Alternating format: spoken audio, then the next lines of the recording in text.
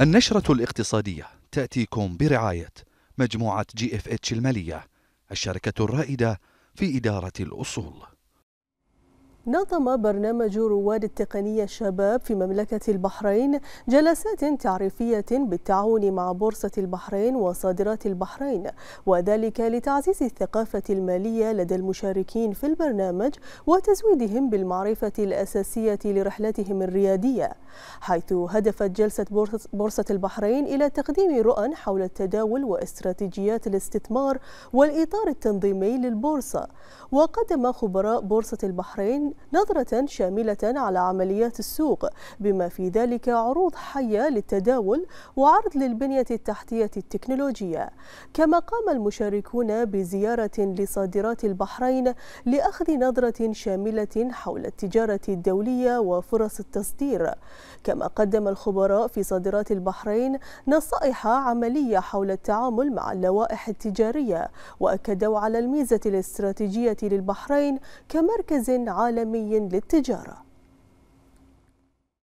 طبعا إحنا آه، هدف من البرنامج والكولابوريشن اللي صار مع برنامج رائد الأعمال التقني إن إحنا آه، نوضح للمشاركين أهمية الاستثمار وشنو المبادئ الأساسية في الاستثمار. فعلمناهم عن أنواع الإنسترومنتس اللي عندنا في بوسطه البحرين شلون إن الواحد يقدر آه، يطلع على هذه الأمور ويتبحث في هذا المجال بحيث إنه يقدر يخمن أسعار الأسهم ويعرف الوقت المناسب للبيع والشراء. اليوم إحنا في صادرات البحرين نظمنا ورشة تعريفية للمشاركين في برنامج شباب تك بهدف تشجيع وتعزيز الطاقات الشبابية وريادة الاعمال. طبعا ودورنا في التشجيع والترويج المنتجات والخدمات المحلية وتصديرها للعالمية. تعلمت وايد عن شلون أسجل حساب عند البورصة وشلون أقدر اتداول مو بس سوق البحرين سوق أبو ظبي من طرف تبادل وال different brokers اللي موجودين وشلون أنا أقدر أصير متداول في البحرين. بعد من صادرات البحرين تعلمت إن عندنا كثير من المنتجات اللي يطرشون لخارج البحرين. وهاي الشيء صدق حط ثقة في نفسي إن أنا أقدر أبتدي أسوي منتجات في البحرين واطرشهم للخارج وأبتدي البزنس مالي. والآن نترككم مع أداء الأسواق المالية الخليجية.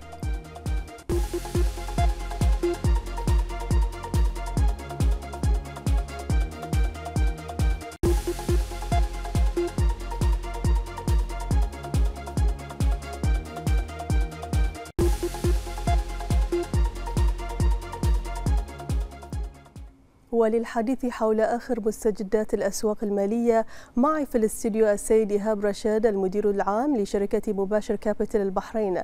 مرحبا بك أستاذ في النشرة الاقتصادية. أهلا وسهلا بحرين أستاذ في البداية يعني هناك توقعات بشأن ركود اقتصادي في المرحلة المقبلة أدت إلى تراجع الأسواق المالية. فكيف تقرأ هذا التراجع؟ يعني هل نحن في مرحلة تصحيح أم أزمة؟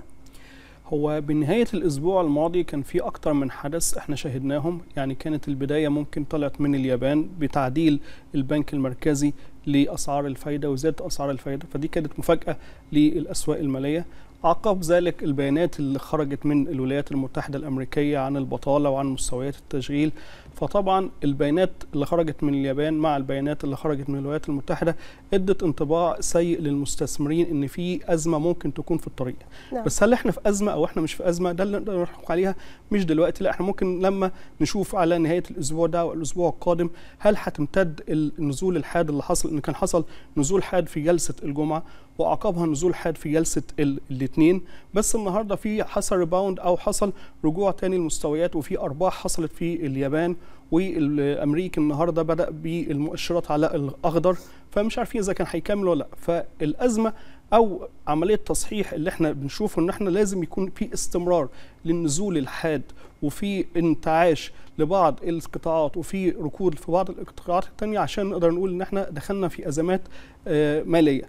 بس حتى الآن لا نستطيع إن إحنا نقول إن إحنا دخلنا في أزمة مالية. إحنا في تصحيح التصحيح ده ممكن يستمر لأيام على حسب الأخبار وعلى حسب الريبورتات اللي هتطلع سواء من الأسواق الأمريكية أو من الأسواق الأوروبية هو ده اللي هيدينا ال direction للفترة الجاية.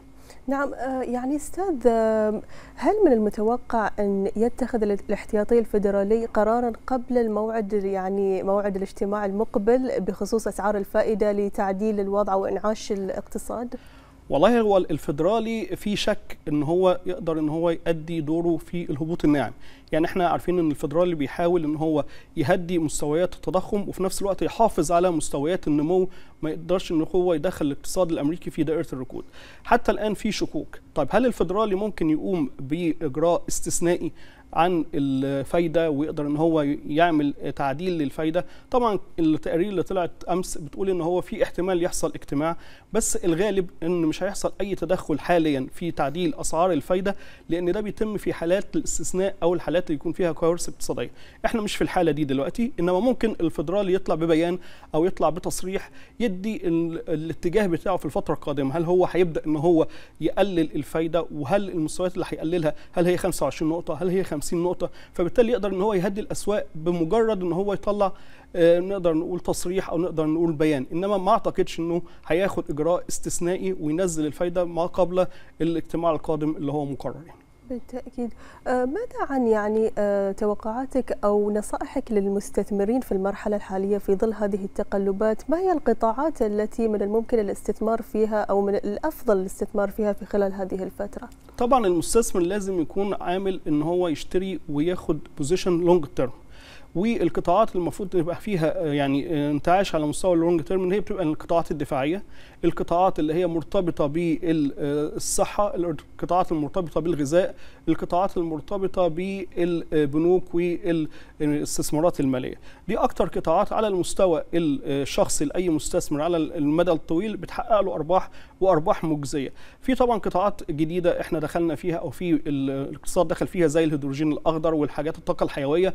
برضه دي قطاعات من القطاعات اللي ليها مستقبل قوي جدا في الفترة الجاية يمكن القطاعات اللي حققت بعض الخسائر وكانت خسائرها جامدة أو صعبة الأيام اللي فاتت دي هي القطاعات اللي هي التكنولوجيا المالية نعم. اللي حصل فيها بعض التذبذبات الكبيرة جدا اللي أثرت على نفسية المستثمرين وفي نفس الوقت كمان أثرت على المؤشرات وهي دي يمكن أكتر حاجة حصل ليها زار لأنها زادت بشكل كبير جدا خلال النصف الأول من 2024 فبالتالي أي عملية تصحيح هتتم هتبقى مفزعة لبعض المستثمرين بالتأكيد السيد إيهاب رشاد شكرا جزيلا على حضورك. شكرا لحضرتك.